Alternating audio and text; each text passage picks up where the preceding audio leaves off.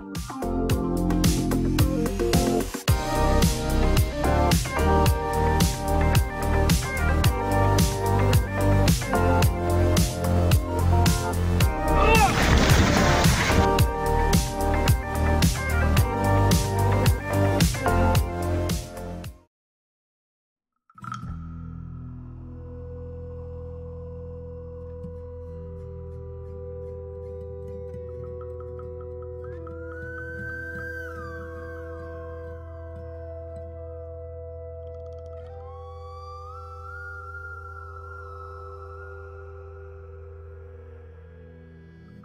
আসসালামু আলাইকুম বন্ধুরা ক্যানাডা টন্ডো থেকে আপনাদেরকে জানাচ্ছি অনেক অনেক শুভেচ্ছা ও ভালোবাসা। ভিডিওটি যখন ধারণ করছি, তখন তারিখ একত্রিশ অক্টোবর। এ দিনটি ক্যানাডা তথা পুরো ওয়েস্টার্ন ওয়ার্ল্ডে হ্যালোইন ডে হিসেবে পালন করা হয়। আপনি দেখতে পাচ্ছেন যে আমার পাশের এই বাড়িটি ভুতুরের সাথে সজ্জিত হয়েছে। হ্যালোইনে বিশ্বাসীরা এই দিনে এই ধরনের ভুতুরের সাথে সজ্জিত করে নিজের বাড়িকে। এবং নিজেরাও সাজে, ভূতের সাজে। আজকের এই ভিডিওতে আমি আপনাদেরকে জানাব হ্যালোইনের ইতিহাস আর আপনাদেরকে দেখাবো এই ধরনের কিছু বাড়ির কিছু ভূতুরের সাজ। এই ভিডিও শেষের দিকে থাকবে আমার ছেলেরা হ্যালোইন নিয়ে কীভাবে এবং তারা কীভাবে হ্যালোইন পালন করে তার উপর ভিডিও। চলুন শুরু করা যাক।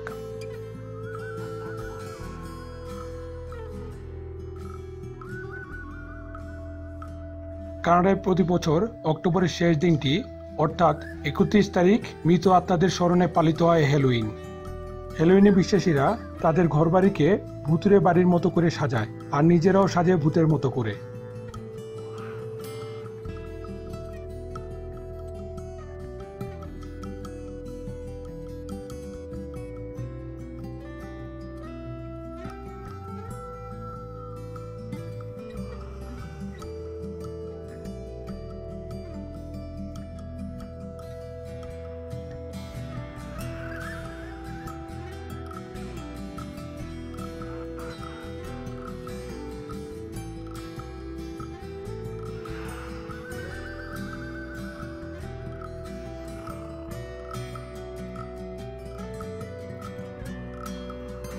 প্রায় দুই হাজার বছর আগে বর্তমান আয়ারল্যান্ড, ইংল্যান্ড ও উত্তর ফ্রান্সে বসবাস করত কেল্টিক জাতি। নভেম্বরের প্রথম দিনটি তাদের নববর্ষ হিসেবে পালন হতো। তাদের বিশ্বাস, যত ভূত প্রেত আছে, সবাই নাকি এই রাতে চলে আসে লোকালয়ে। আর সেই সব ভূত প্রেতদের খুশি করতে না পারলেই নাকি হবে বিপদ, হবে ফসলের ক্ষতি। আর সেই জন্যই এই রাতটিতে পালন করা হয় এই হ্যালোইন উৎসব।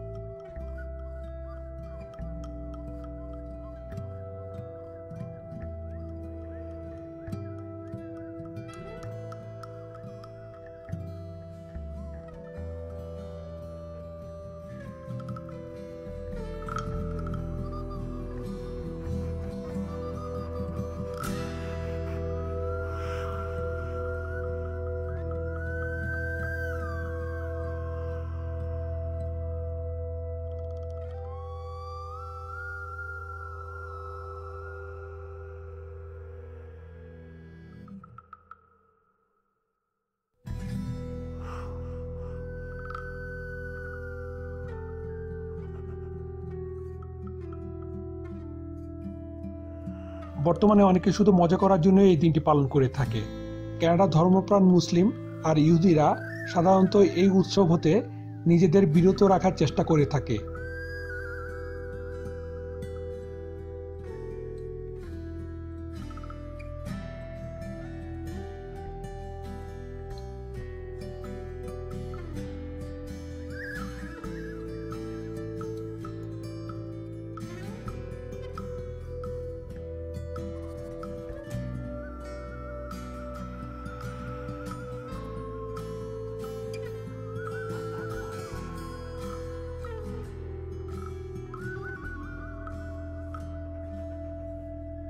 দিনটি এমনকি ঘটা করে পালন করে থাকে ইউনিসেফও।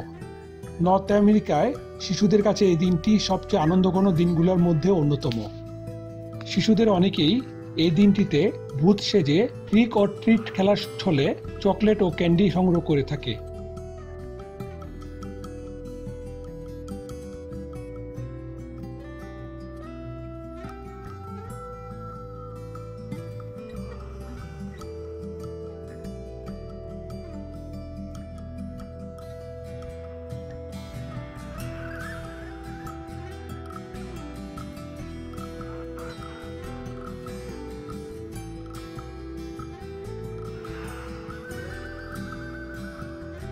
দিনটি সরকারি ছুটির দিন না হলেও অনেকেই বাচ্চাদের জন্য অফিস হতে ছুটি নিয়ে থাকেন।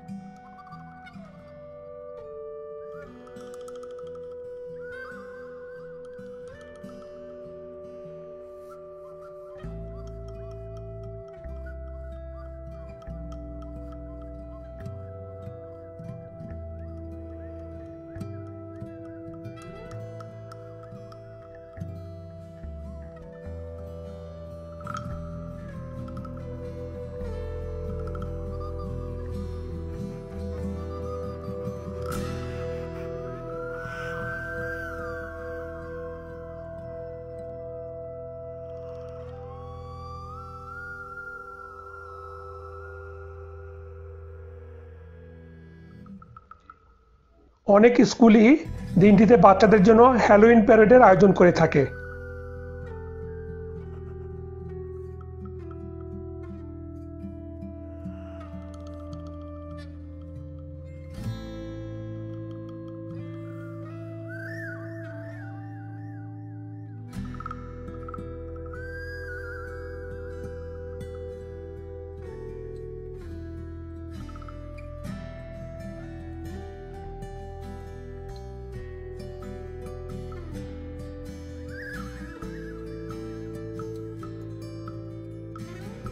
ছোট ছোট বাচ্চারা এই দিনে যেমন খুশি তেমন সেজে স্কুলে যেয়ে থাকে।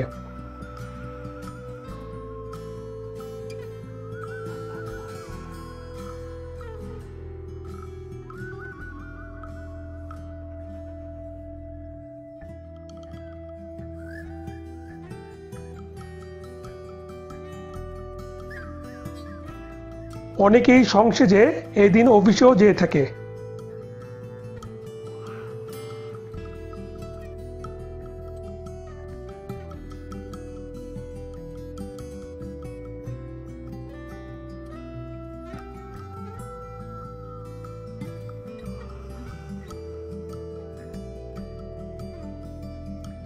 মহামারীর কারণে এই বছর কানাডার অন্টারিওর সরকার হ্যালোইন উদযাপনকে বিভিন্নভাবে নিরুৎসাহিত করায় বেশিরভাগ টরন্টোবাসী অন্যান্য বারের মতো এই বছর ঘর বাড়িকে তেমন একটি সাজায় নেই।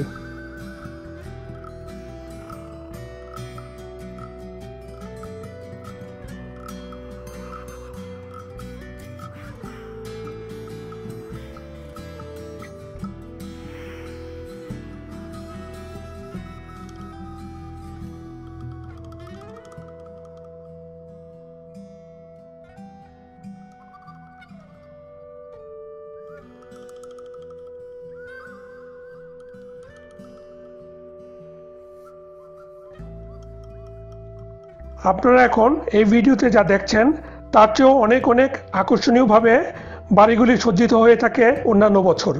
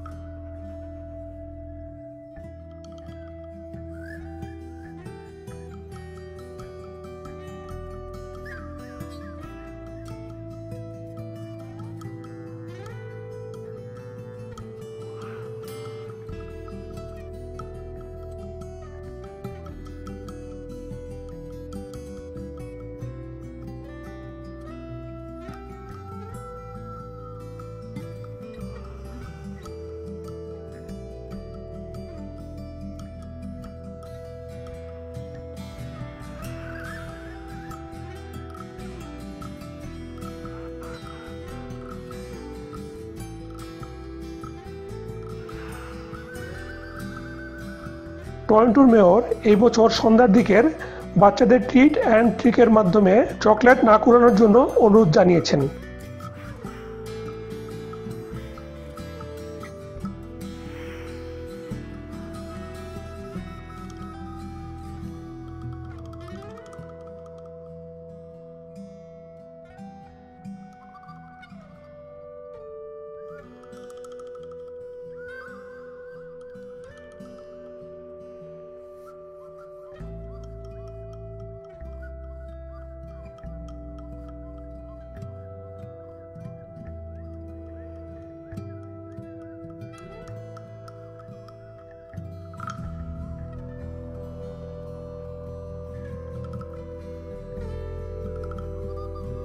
মহামারীতে সোশ্যাল ডিস্টেন্সের কথা মাথায় রেখে অনেকেই ট্রিক অ্যান্ড ট্রিটের চকলেট বা গিফটগুলো এইভাবে বাসার সামনের গাছগুলিতে ঝুলিয়ে রেখেছে, যেন বাচ্চারা তাদের গিফট বা চকলেটগুলো এখান থেকে পেরে নিতে পারে। এখন চলুন দেখি গত বছর ধারণ করা হ্যালোইন নিয়ে আমার বাচ্চাদের একটি ভিডিও যেখানে তারা হ্যালোইনকে কীভাবে দেখে সেটা জানাবে। তুমি এখন কোথায় যাচ্ছ আব্বু আমার ছোট ছেলে এখন ট্রিক অর ট্রিটে যাচ্ছে হ্যালোইন উপলক্ষে। আজকে তার স্কুলে ইয়ে ছিল হ্যালোইন প্যারেড ছিল। তা হ্যালোইন প্যারেডে বাচ্চারা হ্যালোইন ড্রেস পরে স্কুলে আসছিল। এটা আগে স্কুল থেকে বলে দিয়েছিল। তো অন্যান্য বাচ্চারা আপনার বাজার থেকে মার্কেট থেকে হ্যালোইন কাস্টম কিনে তারপর স্কুলে গিয়েছে। কিন্তু আমার ছেলে, সে নিজের ড্রেস নিজে তৈরি করেছে। আব্বু এটা কি বানিয়েছো? Um, Sammy Lawrence Sammy Lawrence সম্ভবত এটা কি? এটা কার্টুন হোয়াট ইজ দিস. ও আচ্ছা। স্যামি লরেন্স একটা ভিডিও গেমস একটা ক্যারেক্টার সে স্যামি লরেন্সের মতো ড্রেস আপ করছে। সে কালকে রাতে বলে একটা প্যান্টের মধ্যে এভাবে কালি মেখেছে তুমি কেন কালি কালি লাগিয়েছো কেন? এখানে ব্ল্যাক কেন এটা? এটা কি? এটা কেন ব্ল্যাক কেন? তুমি তোমার প্যান্টটা কীরকম কালো করছ কেন বউ? ওয়াই. ও এটা ইঙ্ক মানে সেম লরেন্স কি কালি ইঙ্কের মধ্যে থাকে? Ink. আচ্ছা তা এটা কি বানিয়েছো? এটা তোমার ইয়া এটা এটা কি এভাবে পরে? আচ্ছা সে এটা হলো আপনার সেমি লরেন্সের মুখোশ সে নিজে বানিয়েছে এবং আপনার দেখেন যে জামার উপর একটা বেল্ট যেটা, এখানে দাঁড়াও দেখি। আচ্ছা তুমি ঘুরো ঘুরো। সেটা পুরা নিজের হাতে বানিয়েছে। আমার এই ছেলে গ্রেড টুতে পড়ে। তা সে সেমি লরেন্সের ড্রেস তৈরি করেছে এবং সে আজকে স্কুলে এটা নিয়ে প্যারেডে গিয়েছিল। আচ্ছা তা এখন সে বেরোবে, যদিও আমরা লাস্ট কয়েক বছর আপনার হ্যালোইন উপলক্ষে ট্রিক অর ট্রিটে যাই নাই, কিন্তু এই বছর আমার ছেলের বায়না সে যাবে, আর আর আমিও যেতে যাচ্ছি এই কারণে যে আপনাদেরকে হ্যালোইন সম্পর্কে একটা আইডিয়া দেওয়ার জন্য। না হলে আমাদের যাওয়ার কোনো প্ল্যান ছিল না। কিন্তু দুইটা জিনিস এখানে কাজ করছে। এক হলো সে ইন্টারেস্টেড প্লাস আমারও ইচ্ছা আপনাদেরকে এটা এই উপলক্ষে একটু ভিডিও করে আপনাদেরকে একটা আইডিয়া দেওয়ার জন্য। তা আমার বড় ছেলেকেও সঙ্গে করে নিয়ে যেতে চেয়েছিলাম কিন্তু সে যেতে চায় নাই। বাবা তুমি কেন যেতে চাও নাই. এটা হারাম। আরও বলো ডিটেলস কেন এটা হারাম? because কোস্ট এই জন্য। তোমার টিচার বলছে? না। তুমি কীভাবে জানলা যে এটা হারাম? Because I'm Johnny. তুমি জানো কীভাবে এটা মানে কোথা থেকে তুমি এই ইনফরমেশনটা পেয়েছ যে এই হেলোইন উপলক্ষে ট্রিক অর ট্রিটে যাওয়া হারাম? like that. আচ্ছা শুনছো না? আর এভাবে তোমাদের যে সানডে স্কুল বা ইসলামিক স্কুলে যে তুমি যাও সেখানে টিচাররা এটা নিয়ে আলোচনা করছে কোনো. লাস্ট উইক বলছিল? এই তো আমি সেটাই জানতে চেয়েছি। ও, তার টিচার বলছে তাহলে? টিচার কি বলছে? like the origins of it. Origin এটা কীভাবে তৈরি মানে এই কালচারটা কীভাবে স্টার্ট হয়েছে No, both is like YouTube like একটা like channel আছে আর like ওখান থেকে দেখতে পারবে origins কীভাবে হয়েছে হ্যাঁ তারপর টিচার বলছে এটা সেলিব্রেট না করার জন্য। আচ্ছা যাক ভিউয়ার্স সে যেহেতু এটা ও জানে যে এটা হারাম এবং আজকে আমরা বেরোচ্ছি কিন্তু সে যাবে না সে বলছে যে বাবা এটা হারাম আমি যাব না। তা তাকে রেখে যাচ্ছি। আর আমার ছোট ছেলে যেহেতু হালাল, হারাম, এগুলো সম্পর্কে তার কোনো আইডিয়া নাই, এবং সে অনেক কষ্ট করে এই ধরনের কাস্টিউম তৈরি করছে এবং তার বায়না আজকে ওয়েদার খারাপ, আজকে বাইরে বৃষ্টি হচ্ছে, এই বৃষ্টির মধ্যেও বের হব। কারণ হচ্ছে যে ওর ও নাহলে একটু ডিজার্টেড হবে, যেহেতু এখনও সে ধর্মীয় জ্ঞানটা তার মধ্যে আসে নাই। তা আমি তাকে নিয়ে বেরোবো ও ওর বয়সে আমার এই ছেলেকে নিয়ে আমি বের হইছি তবে যখন সে বুঝতে শিখছে, তখন আমরা বের হই নাই এবং তাকে তখন যখন বুঝেছি যে এটা ঠিক না, তখন তার এর- এই ব্যাপারে আর কোনো কোয়েশ্চেন বা কোনো আর্গুমেন্ট ছিল না।